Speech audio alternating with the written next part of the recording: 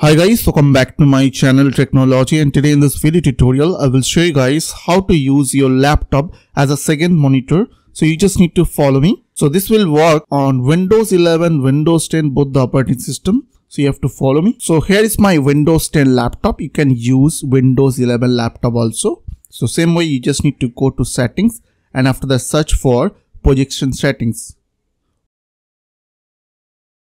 Once you have opened projection settings, you have to click on these optional feature options over here. And after that, you need to click on add features and search over here wireless display.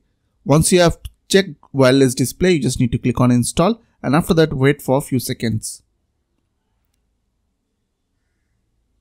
After installation done, simply on search, you just need to type projection settings.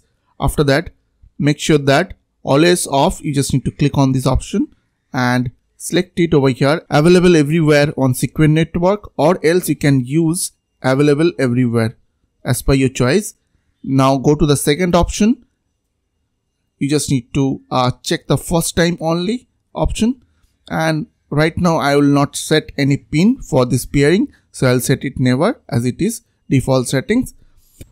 After that click on launch the connect app to project to this PC. Now you need to go to your main computer and after that you need to connect to wireless display from that PC. Now you just need to right click on your start menu, go to settings and click on system from your left side over here. Click on display. Now expand multiple displays.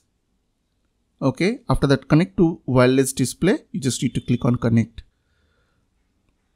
So now on your right side, it will pop up a window. So simply you need to uh, check your laptop over here.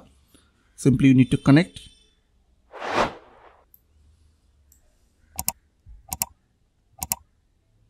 So I hope this tutorial really helped for you and please don't forget to click on the subscribe button, like button and share button and if you have any questions or question then comments down below. I will see you guys in the next one next video. Till then bye bye take care.